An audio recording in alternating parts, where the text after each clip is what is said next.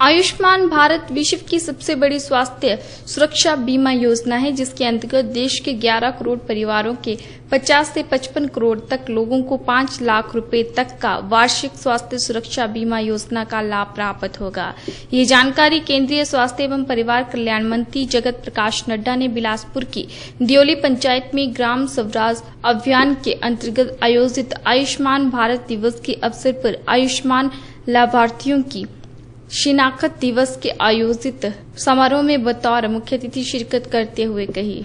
उन्होंने जानकारी देते हुए बताया कि आने वाले समय में स्वास्थ्य विभाग देश के लोगों के स्वास्थ्य बदलने का कार्य करने वाला है। देश के डेढ़ लाख सब सेंटरों को वर्ष 2020 तक निरोगी सेंटरों के रूप में परिवर्तित किया जा रहा है, जबकि इस वर्ष अठारह हज़ार सब सेंटरों को निरोगी सेंटरों में बदलने का लक्ष्य निर्धारित किया गया है। इन निरोगी सेंटरों के क्षेत्र के अंतर्गत आने वाले प्रत्येक 30 वर्ष से अधिक आयु के नागरिक की अनिवार्य रूप से हर प्रकार की शारीरिक स्वास्थ्य जाँच की जाएगी और भविष्य में होने वाली गंभीर बीमारियों के प्रति समय पर सचेत करके उन्हें उनका इलाज करवाने की सुविधा उपलब्ध करवाई जाएगी, जिससे स्वास्थ्य के क्षेत्र में रोज़गार के और अधिक अवसर सुलभ होंगे।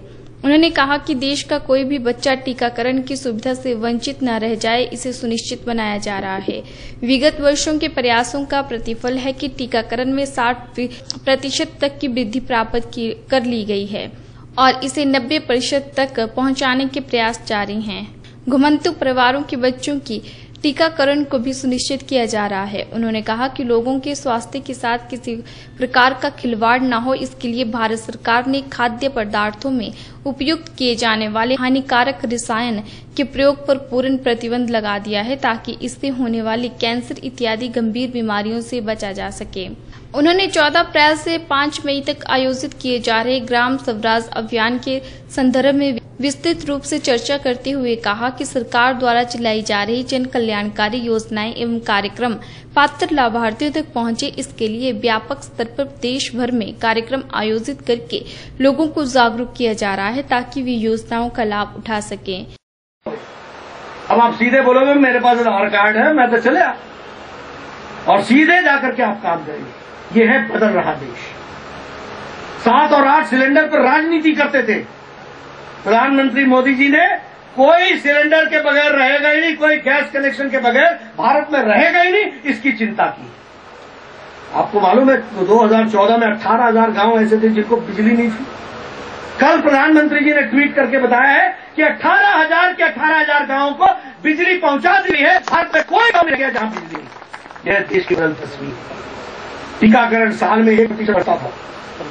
हम लोगों ने ढूंढ ढूंढ के ढूंढ ढूंढ के जिन माँ बाप के बच्चे जो लेबर क्लास है, बेचारी आज यहाँ है, आपने पहले बदला, मुझे मंत्री बनाया प्रदेश में तो कोल डैम आ गया, छियासठ करोड़ का। आया कि नहीं आया? आपने फिर बदल दिया स्विच ऑफ़ किया कोल डैम स्विच ऑफ़ हो गया। सब लोग ये पाइप दे दो, इसको खुश कर लो, इसे कोट ले इसे फलाना कर लो, इसे डकाना कर लो, पानी, पाँच साल छुट्टी। गलत तो नहीं बोल रहा हूँ। आपने फिर स्विच बदला और ऐसा मंत्री आया जिसने कहा ऐसे विधायक आए जिन्होंने कहा, पाँच महीने के अंदर कोल डैम का पानी पहुँचा करके हटेंगे ये होता है लेकिन एक बात मैं आपसे कहूँगा कि काम करने वाले को थापी नहीं दोगे, पेड़ू नहीं खिलाओगे, पूछोगे नहीं। और बोलोगे, जी, सब बराबर, आप बराबर है। तो फिर बताओ, बराबर ही होगा कि नहीं होगा? इसलिए बदलते परिवेश में चीज़ों को समझना चाहिए। आज आतुरता है विधायक में भी आतुरता है, मंत्री में भी आतुरता है कि मैं मई महीने में, मैंने कहा जून में भी हो जाएगा, चलेगा। ना, मई में करेंगे यह है कमिटमेंट इससे पूर्व हिमाचल प्रदेश के सिंचाई एवं जन स्वास्थ्य, बागवानी एवं सैनिक कल्याण मंत्री महेंद्र सिंह ठाकुर ने अपने संबोधन में जानकारी देते हुए बताया कि पैंसठ करोड़ रुपए की लागत से निर्मित की जा रही कोल डैम उठाऊ पेयजल योजना का शुभारंभ मई माह में किया जाएगा। उन्होंने कहा कि केंद्र एवं राज्य सरकार के संयुक्त प्रयासों से प्रदेश निरंतर विकास की ओर अग्रसर हो रहा है। उन्होंने कहा कि बिलासपुर में निर्मित होने वाले एम्स की चार दीवारी के कार्य का टेंडर हो चुका है और जल्द ही इसका कार्य आरंभ हो जाएगा। दूसरा मेडिकल दूसरा मेडिकल कॉलेज नेरचौक का, तीसरा मेडिकल कॉलेज चंबा का, और चौथा मेडिकल कॉलेज आते आते हम, जब माननीय जगत नड्डा जी के साथ, केंद्रीय मंत्री जी के साथ कार में आ रहे थे तो दिल्ली में बात कर रहे थे, मुझे नहीं पता कौन थे वो, दिल्ली में बात कर रहे थे और उनको कह रहे थे कि आपका बहुत बहुत धन्यवाद कि आपने दिया चार मेडिकल कॉलेज अगर हिमाचल प्रदेश को मिले हैं तो उसमें सबसे बड़ी अहम भूमिका जो है जगत प्रकाश नड्डा जी की है, उसमें सबसे बड़ी अहम जो आशीर्वाद रहा है, हमारे देश के प्रधानमंत्री जी का रहा है। नहीं तो कहा, इतने छोटे से प्रदेश को इतना इतनी ज़्यादा ऊंचाई मिलती? किसने सोचा था? कार्यक्रम में आरंभ में स्थानीय विधायक सुभाष ठाकुर ने अपने स्वागत समारोह में ग्राम स्वराज अभियान तथा आयुष्मान भारत दिवस के विषय में विस्तृत जानकारी दी। उन्होंने कहा कि केंद्र सरकार की सभी जन कल्याणकारी योजनाओं को प्रदेश सरकार धरातल पर उतारकर हर वर्ग को लाभान्वित कर रही है।